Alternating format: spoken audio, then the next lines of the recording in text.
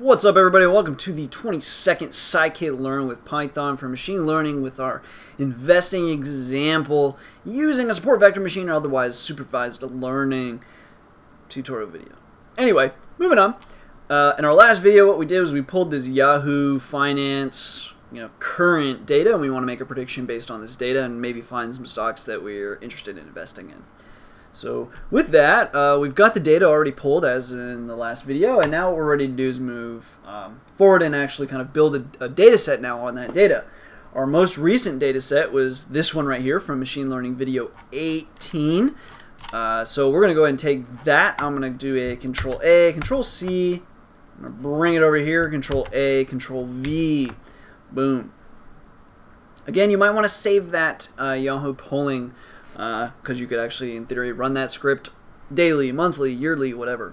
So here we have uh, the building script, and now what we need to do is actually build, uh, modify this script a little bit. You know, my favorite thing to do. Uh, modify this slightly to handle the new format of, or the new, I guess, uh, formatting of the data. I'm already breaking the new format of the data basically right now. It's not. It's in a different kind of directory and stuff. and then we also we can't get like the stock prices from a year, right? We we can't see into the future. Otherwise, we wouldn't be doing machine learning. We would just be investing. So yeah, we got to account for all that stuff. So with that, let's get started. Uh, so first, we're gonna go ahead and we don't really need this path var anymore. Uh, we could call this forward and uh, that'll be that. We'll scroll down here. We don't need either of these anymore. So just comment those out. And if you don't know how I'm doing that again, uh, you just highlight Alt 3 and it comments them all out. Moving on, we don't need anything about this current stock price or the current data frame. That's irrelevant to our uh, interests. We also don't need this ticker list. Irrelevant yet again. But we do now need a file list, and we'll call this file list equal to the os.listdir, and we want to list the contents of the directory forward because that is where I stored all of my uh, contents. So my the stuff that we just pulled for our forward, um, you know, real time, I suppose. Um, investing is in this directory forward and we've got all these files here. So that's where the files are and we want to access them and each file is its own little ticker. So that's our file list. Now what we're going to say is for each dir in, I don't really want to change that, but for each dir in a file list, what do we want to do? And actually, I do want to change that. That's going to bother me. So what we can do is we can go Control C to copy that. Control H, which is the find and replace.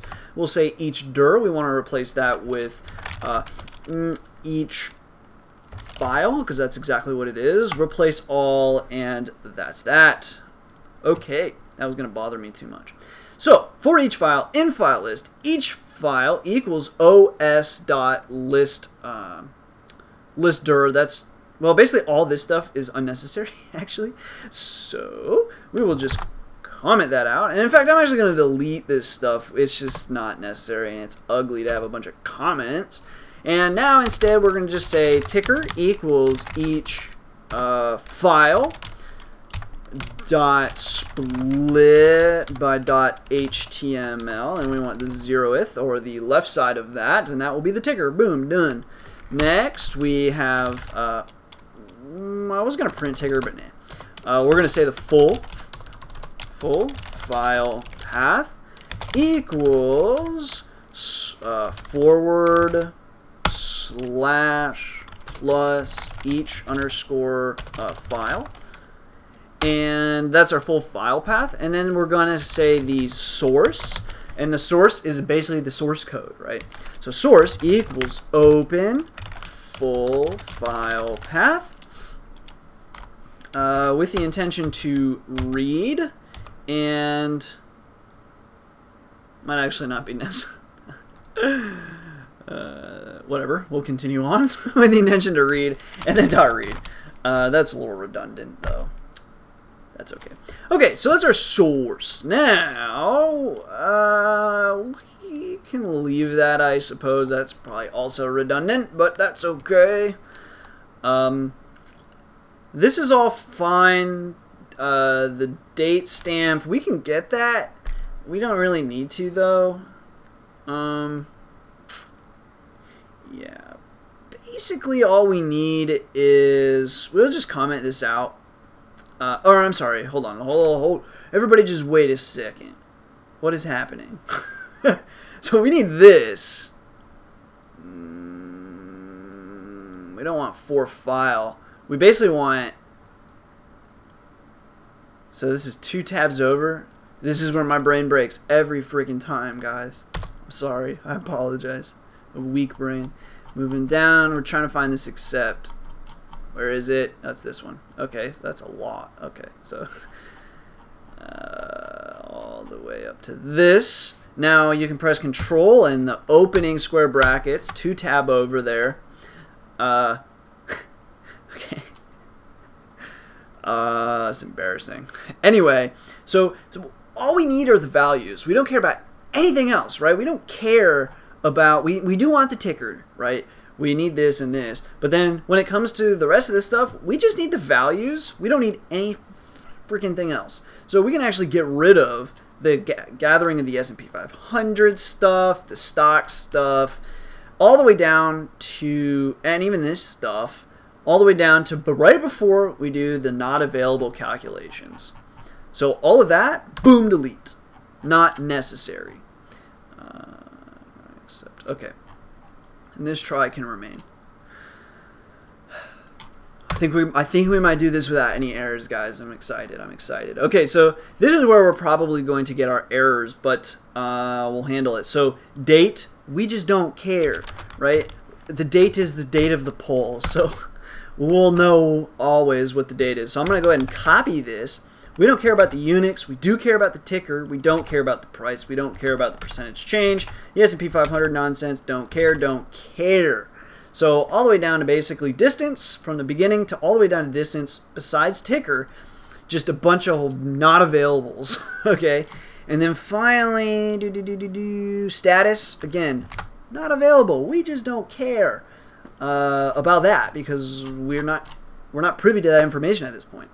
Now finally df to, to CSV instead of this nonsense, we were gonna we're gonna call this forward underscore sample dot CSV, but we're going to say no underscore NA, or is this with NA? First we'll do no NA, right, that's what we have right here, and then we'll do with NA.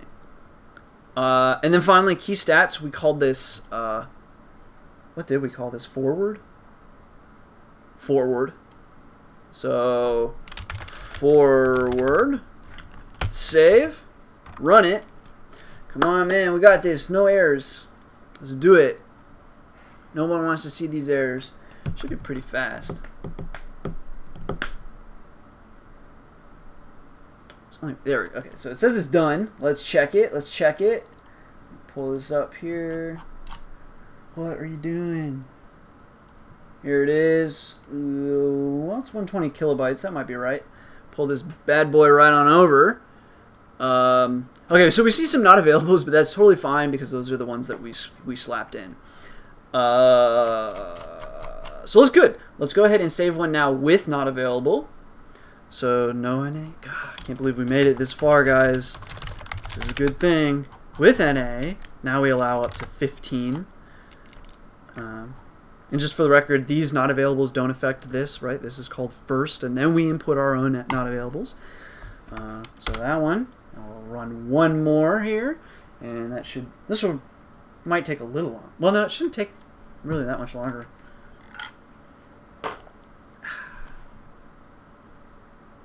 Um, and yeah, this video is hitting 10 minutes, so I'll probably cut off this one as well. Uh, in, the, in the next video, we'll actually um, run the tests against this one, but let's go ahead and check this file. Slightly larger, but not by much. Okay, so we've got that, and now I want to talk about moving into the for, uh, you know, moving forward, moving into the forward. So in the next video, we've got this data set, and then what we'll do is we'll train on the previous data set, then we'll call upon this data set after we, you know, we've got the training in memory, and then we'll call upon this data set, and then we'll kind of predict only based on this data set. So really we can train on the entire previous data set, and then we can call upon this data set and make some predictions. So that's what we'll, we'll do. And uh, we might find that we either get too many or too few uh, predictions. If we get too few, that's okay. In theory, you shouldn't get a new prediction every day, but also in theory, we should be we should get. Uh, say our prediction is um, Apple. Okay, our prediction for Apple should not. I mean, every day we should be getting Apple. if, we have like a bunch of days where we're not getting Apple predicted, then we shouldn't be in Apple. So anyway, uh, that's that. So. Uh, and that might actually be a, a, way of moving forward as far as the stop loss is concerned.